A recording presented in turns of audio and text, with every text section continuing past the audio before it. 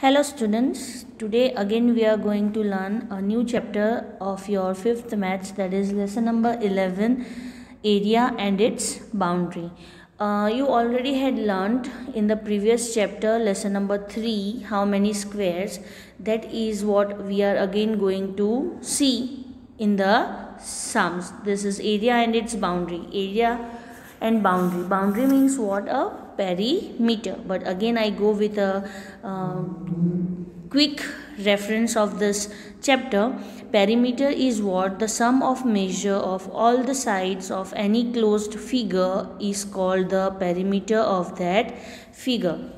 You can see I had drawn a figure here right? This is called these four sides are the perimeter of a particular figure now what about area? Area is the amount measure uh, of a surface covered by a closed figure is its area. Here also again you can check it out in area we the portion which is covered inside the figure right this figure the portion covered inside the figure is called area.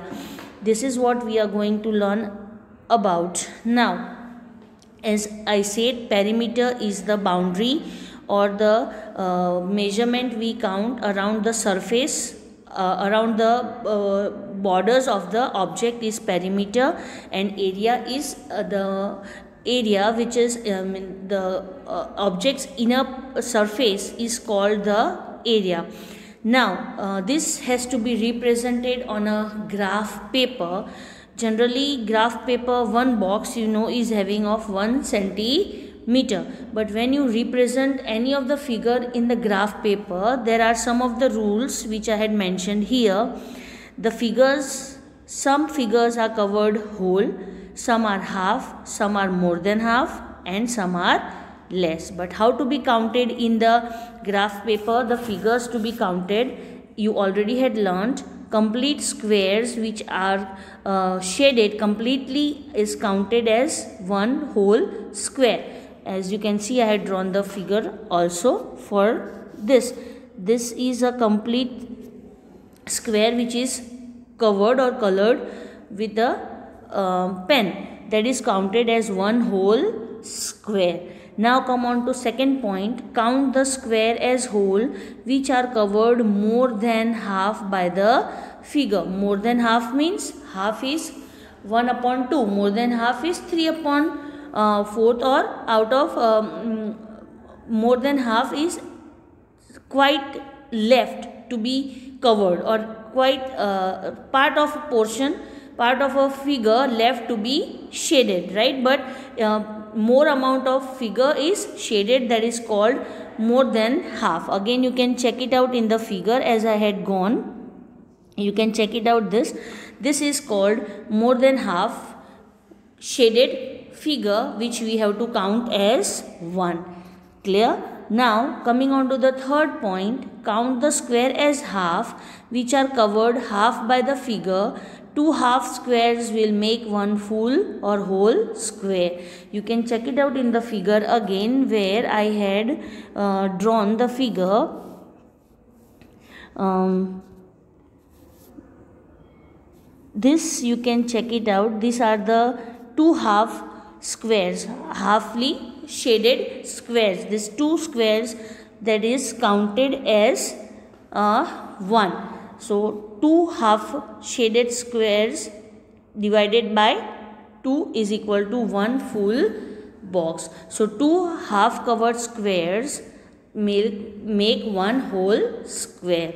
And the last and the fourth point consider to be important as ignore the squares which are covered less than half by the figure. Now uh, you can check it out again a square where here you can check it out in this square where I had shaded the figure but it is less than half right? It is less than half so it should not be counted at all. More than half will be counted as 1 but less than half will not be counted at all. Hopefully this is clear to you.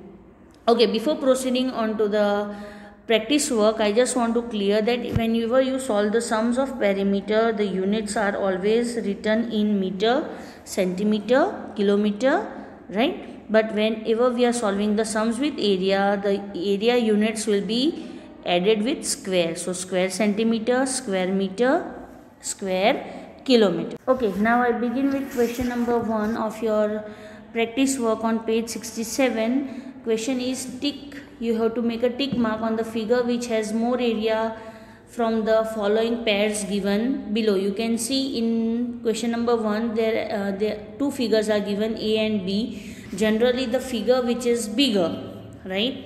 The figure which is bigger will have a bigger area. So compared to a and b figure a is bigger. So area of a figure a is bigger. In question 2 figure b is bigger so area of figure b is bigger. In question number 3 out of a and b again b figure is uh, bigger so area of b is bigger. In question 4 area of a is bigger. In question 5 again area of a is bigger. In question 6 again a is repeated as a bigger area with a bigger area. Question number 7 also figure A is having a bigger area. In question number 8, figure B is having a bigger area. Question number 9, figure B is having a bigger area. And question number 10, again figure B is having a bigger area. So you have to tick which has more areas. So please remember the figure which is bigger compared to 2 or comparing in a pair, the figure which is bigger will have a bigger or more area. Hopefully this is clear to you